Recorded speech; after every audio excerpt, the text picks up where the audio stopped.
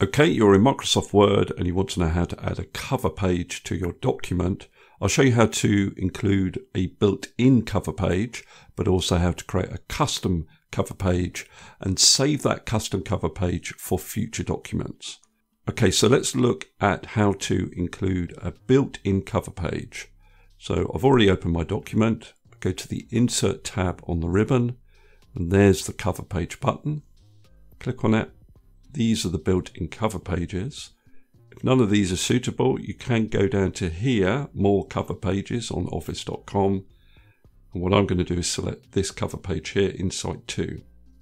So now all we need to do is put these headings in these placeholder elements within the cover page.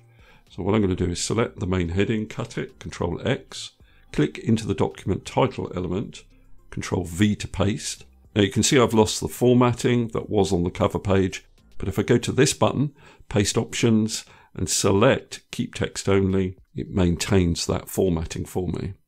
I'll do the same for the document subtitle, cut it, click into this element, control V, keep text only. Now down here, I just need to change the author name, enter today's date, this element here I don't need, so I'm going to right click on it and remove content control.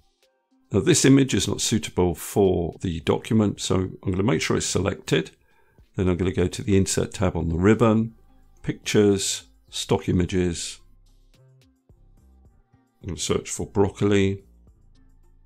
Select an image, click on Insert, and it will replace that image for me. I can resize it if I need to. Okay, so that's how to include a built-in cover page in Microsoft Word. How do we create custom cover pages? Okay, so this is my mock-up of a cover page. I've just included some graphics, some text, and an image. Now, what I need to do is select everything I want to include in the cover page. So I'll just do Control A on my keyboard to select it all. And then I'm going to go to Insert, cover page. And right at the bottom here, you'll see an option Save Selection to Cover Page Gallery. Now I need to give the cover page a name. And then very simply, I just need to click on OK. Then I can just close down this document. I don't need to save it. But when you close down Word itself, it is going to ask you whether you want to save the changes you have made to building blocks. And at this point, you need to click on Save. Now I'm back in Word and I've created a blank document. How am I going to insert the custom cover page that I have just created? Well, all I do is I go to Insert, Cover Page, and I need to scroll right down to the bottom and you'll see that Word has created a section called General and there is my cover page. So if I click on it, it inserts it into my document. Now, if you ever need to delete the custom cover page that you've included in this menu, what you do is you stay on the Insert tab on your ribbon, and you go over to this Quick Parts menu, and then you go to Building Blocks Organizer. Now, this is a list of all the building blocks in Word, not just cover pages.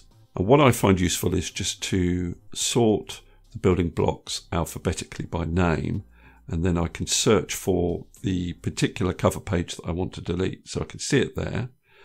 And then all I need to do is click on delete there and then click on yes to confirm and then close.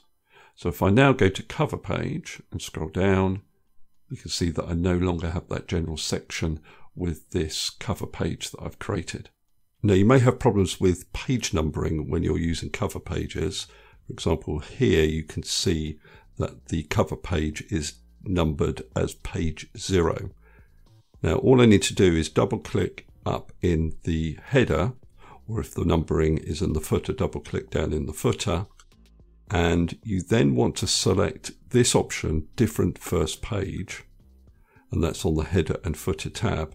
What you can then do is just delete the number that appears in the cover page and that will not affect the numbering on the other pages.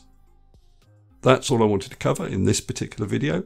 Hopefully that's useful. If it is, please give me a thumbs up and subscribe, and I'll see you next video.